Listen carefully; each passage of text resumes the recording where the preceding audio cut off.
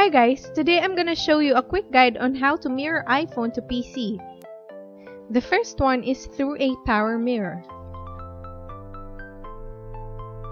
To use this app, you have to install it on your iPhone by going to App Store. However, on your PC, you can visit its official page and install it.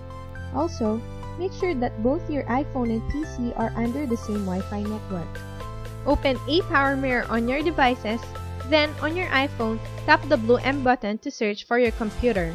Then, choose the name of your computer and tap Phone Screen Mirror. Next, go to Control Center on your iPhone, then tap AirPlay or Screen Mirroring. Afterwards, select the name of your computer and your iPhone will be streamed on your PC. You can also enjoy the full screen feature to have a better view of your phone screen as well as other features like taking screenshots, screen recording, and drawing figures through its whiteboard feature. Another useful tool to mirror iPhone to PC is ApowerManager.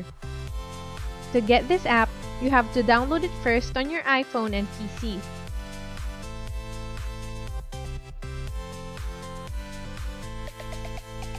After that, connect your iPhone to PC via lightning cable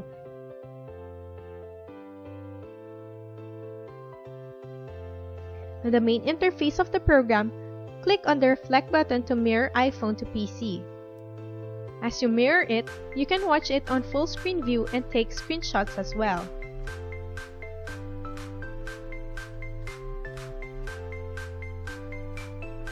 And that is how you can mirror your iPhone to your PC. Thank you for watching!